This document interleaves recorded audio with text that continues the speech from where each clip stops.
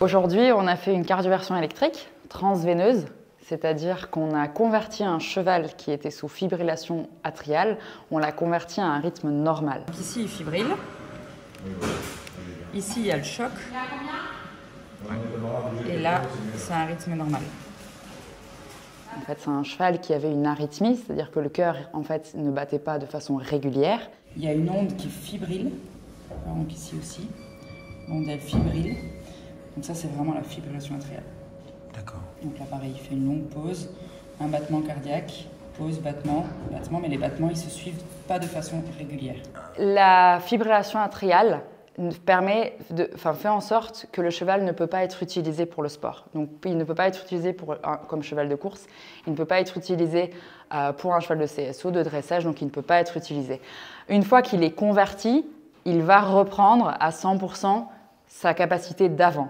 Donc il n'y a pas de séquelles. Bien sûr, il faut qu'il n'y ait pas de fuite valvulaire, il ne faut pas qu'il y ait de maladie cardiaque sous-jacente. Si c'est juste l'électricité où il y a un problème, il va retrouver, euh, enfin il peut retrouver euh, toutes ses performances sportives euh, d'auparavant. Donc c'est une procédure en effet qui est rare, donc euh, comme j'ai déjà dit, qui ne se fait pas en France et qui nécessite beaucoup d'entraînement. C'est-à-dire moi j'ai eu la chance d'être entraînée en Belgique et ici à la clinique, on a, j'ai la chance du coup de pouvoir développer ça. Donc on a investi dans le matériel, fallait qu'on trouve le matériel, fallait qu'on entraîne l'équipe à utiliser ce matériel. ça a permis de faire plusieurs patients et de convertir des patients qui fibrillaient à un rythme normal. Donc chez le cheval debout, une fois qu'il est tondu, une fois qu'il est complètement euh, lavé, on va poser trois cathéters, trois sheets, pour ensuite passer trois sondes. Et ces trois sondes-là, qui sont très longs, ils vont aller jusqu'à dans le cœur et on va les placer à un endroit spécifique. Donc c'est ça un peu qui est la technicité euh, de la procédure, c'est qu'il faut mettre vraiment ces cathéters à un endroit spécifique euh, pour en sorte que tout le cœur soit englobé au moment où on délivre le choc électrique. C'est comme complexe C'est des complexes normaux là ou pas Là, c'est complexes normaux. Là, c'est. Là, là, ouais, c'est bon. 1. 1. 1. Encore un. 1. Top. Tu vois ce qu'il fait Mm. T'es contre quelque chose. Donc je pense que t'étais pas mal. Je pense que tu peux reculer de 1. C'est une euh, chirurgie qui se fait en humaine, qui se fait chez les chevaux, mais on utilise quelques cathéters d'humaine. Après, il y a des cathéters qui sont des sondes en fait qu'on utilise pour les chevaux qui font un mètre et demi. Euh, et ces sondes-là, en fait, euh, comme c'est très long, c'est difficile à manipuler. Et comme c'est les chevaux, c'est très grand, ça change aussi d'un cœur d'humain. Les cœurs de chevaux, c'est très grand, c'est beaucoup plus lourd. Environ la taille d'un ballon de rugby, par exemple. C'est la partie la plus longue de poser les cathéters chez le cheval debout parce qu'en fait, il faut absolument poser les cathéters à l'endroit spécifique. Donc il y a plusieurs options pour suivre ces cathéters-là parce qu'une fois qu'on les a posés sous la peau, dans les vaisseaux sanguins, on les voit plus. Tout ça, Voilà, là on ce Donc nous, on les suit par échographie. On peut éventuellement aussi les suivre par radiographie, mais nous, on choisit de les suivre par échographie. Et en fait, avec ces techniques d'échographie, on va regarder exactement où est-ce qu'ils vont. Donc la sonde qui est placée le plus bas va dans l'artère pulmonaire. Donc on va en fait rentrer par la veine jugulaire. Ensuite, on va arriver dans le euh, dans l'oreillette droite, on passe la valve tricuspide, on va aller dans, la, dans le ventricule droit. Ensuite, on, va, on passe la valve pulmonaire et on va dans l'artère pulmonaire. Donc, c'est très important qu'elle soit profonde dans l'artère pulmonaire. Et le deuxième cathéter, en fait, il va aller euh, dans l'oreillette droite. Donc, lui, en fait, il rentre par la veine jugulaire et, et il reste dans l'oreillette droite.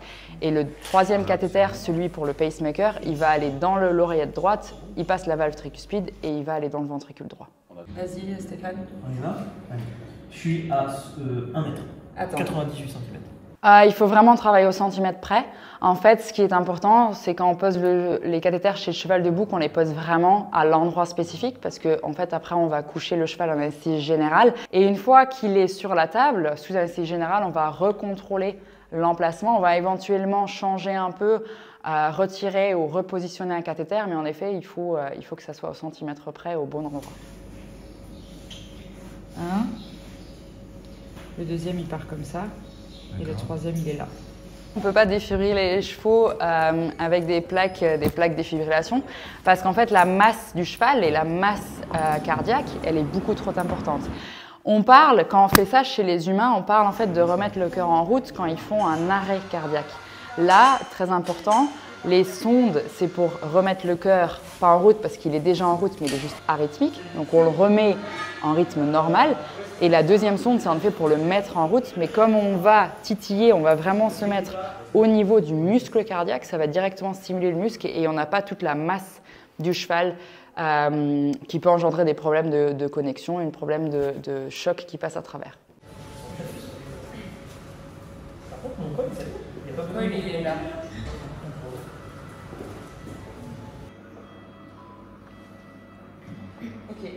Le pacing et on retire le R1. Donc c'est celui-là. Une fois qu'il est sous anesthésie générale, on recontrôle euh, la position des cathéters et euh, on branche le défibrillateur. Avant de défibriller, on va quand même contrôler que notre pacemaker marche. Donc on va stimuler le cœur nous-mêmes. On va demander à notre pacemaker, est-ce que pacemaker, tu peux mettre le rythme cardiaque à 60 battements par minute. Donc ça, c'est ce qu'on fait pour être 100% sûr que s'il y a quelque chose qui se passe, au moins notre cathéter fonctionne et la procédure de sécurité fonctionne. Ensuite, une fois que tout ça est bon, on branche le défibrillateur et on demande à tout le monde de ne pas toucher la table, de ne pas toucher rien qui est autour du cheval parce que ça peut être très dangereux, euh, parce qu'on envoie en fait un choc électrique. Et euh, par la suite, on choisit le nombre de joules, joules qu'on veut donner. Donc on commence à 150 joules et on peut augmenter par 150 joules jusqu'à 360 si le cheval ne se convertit pas. Personne touche la table. Le cheval dort. Personne touche quelque chose qui touche la table.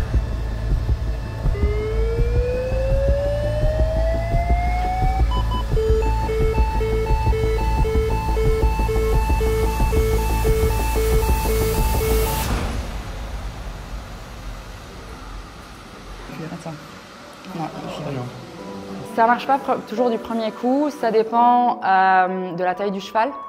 Ça peut aussi dépendre de la durée avec laquelle le cheval fibrilait déjà. Donc aujourd'hui, notre patient, il fibrilait déjà depuis cet été, donc depuis six mois.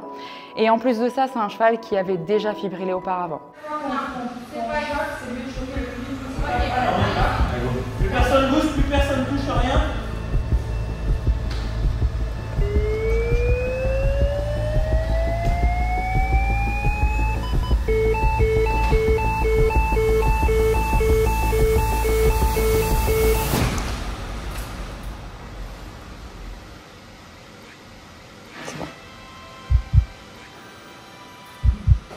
Aujourd'hui, ça s'est passé super bien.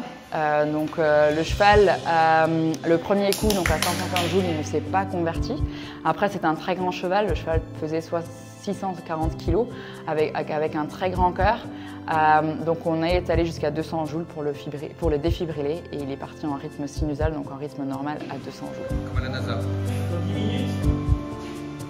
Donc ici il fibrille. Ici il y a le choc. Là c'est un rythme normal.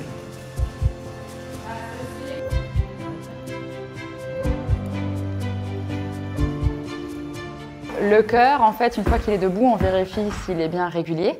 Donc juste à l'auscultation, hein, on, on a, on a vérifié, donc il est bien régulier. Ensuite, il reste chez nous deux jours, deux, trois jours, euh, juste pour qu'on contrôle. Et puis, une fois que tous les médicaments d'anesthésie seront sortis de son corps, on va refaire un ECG pour regarder si le rythme reste régulier, ce qui sera certainement le cas. Mais par contre, on peut avoir des extrasystoles. Et ce cheval, il a déjà eu une récurrence trois fois, donc on, sait que dans le futur, peut-être qu'il va avoir une récurrence, mais ça va nous aider. On va aussi refaire une échocardio pour regarder si au niveau du cœur tout va bien, donc une échographie cardiaque. Et ensuite, normalement, euh, il pourra rentrer d'ici 3-4 jours. Le but, c'est qu'il reste au repos pendant 3-4 semaines et ensuite il pourrait être repris. Donc aujourd'hui, c'était un cheval qui faisait du concours complet du CSO. Donc, euh, donc ce cheval pourra être repris d'ici euh, 3-4 semaines et pourra repartir en compétition dès qu'il est prêt, dès que les propriétaires et les cavaliers euh, sont, euh, sont prêts avec lui.